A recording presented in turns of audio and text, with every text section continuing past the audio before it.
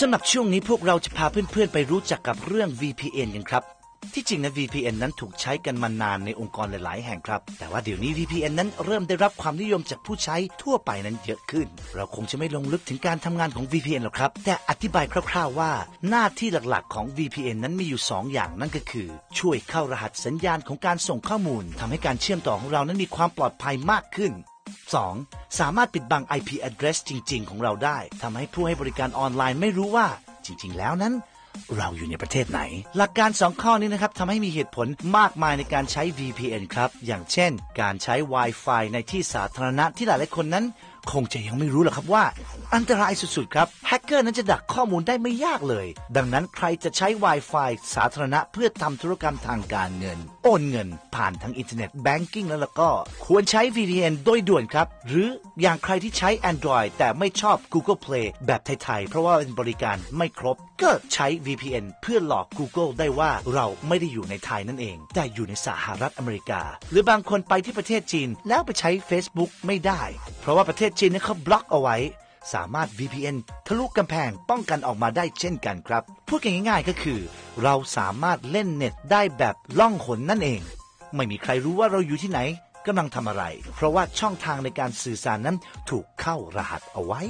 แต่ข้อเสียก็คือว่าการเชื่อมต่ออินเทอร์เน็ตของเรานั้นจะช้าลงนะครับ คือมันทำงานแบบนี้ครับ แทนที่จะเป็นการเชื่อมต่อจากอุปกรณ์ของเราได้โดยตรงไปที่ปลายทาง แต่เวลาที่ใช้ VPN นั้น เราจะเชื่อมต่อไปอยังผู้ให้บริการ VPN จากนั้นก็ค่อยต่อออกไปอีกทีหนึ่งไปยังปลายทาง ดังนั้นปลายทางเขาจึงไม่เห็นเราโดยตรงครับ จะเห็นว่าเป็นการเชื่อมต่อจากผู้ให้บริการ VPN ซึ่งเป็นตัวกลางนั่นเอง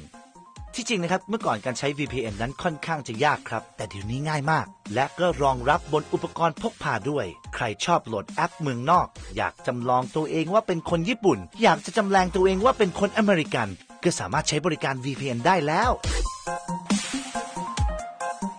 ผู้ให้บริการมีให้เลือกอย่างเช่น purevpn.com รายนี้นะครับ ใช้การเข้ารหัสป้องกันแบบเดียวกับธนาคารครับ ความเสถียรด้านบริการถือว่าดี โดยมีเซิร์ฟเวอร์อยู่ทั่วโลกกว่า 300 เครื่องทำให้เราจำลองตัวเองว่าอยู่ในประเทศต่างๆ ได้ถึง 26 ประเทศ และก็ติดตั้งใช้งานได้ทั้งบน Windows Mac Android และ iOS ครับ จะใช้ดูทีวีออนไลน์ก็ได้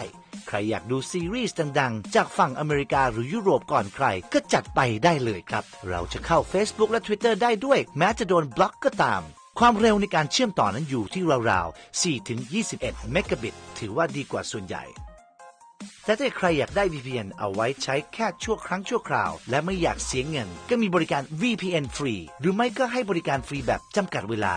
อย่างเช่น Hideman บน Android และ iOS ที่ให้เล่น VPN ฟรีได้ถึง 5 ชั่วโมงต่อสัปดาห์ เอาไว้โหลดสติกเกอร์ไลน์จากญี่ปุ่นได้สบายๆ วิธีการใช้งานหลังจากติดตั้งแอปเสร็จก็คือเลือกประเทศที่เราต้องการครับ จะเป็นญี่ปุ่นจะเป็นอเมริกาก็กดไปได้เลย เลือกประเทศเสร็จก็กด connect แล้วก็ลองเข้าบริการที่ต้องการได้เลยทันที วิธีการใช้งานก็แค่นี้ครับ ง่ายๆ สั้นๆ ไม่ต้องตั้งค่าอะไรทั้งนั้น ลงทะเบียนยังไม่ต้องลงเลยครับ กด connect เสร็จปุ๊บ เราจะเห็นในช่อง location ว่า ตอนนี้ IP address นั้นถูกเปลี่ยนเป็นประเทศที่เราต้องการเรียบร้อยก็เป็นอันจบกันครับ หากเวลาใช้งานที่มีนั้นไม่พอ อันนี้ก็ต้องไปเสียเงินซื้อครับ ยังไงลองเลือกดูนะครับ เดี๋ยวนี้บริการ VPN นั้นมีเยอะมาก ทีนี้ใครอยากโหลด Line Sticker อยากดูรายการทีวีต่างประเทศ จัดไปได้เลยสบายๆ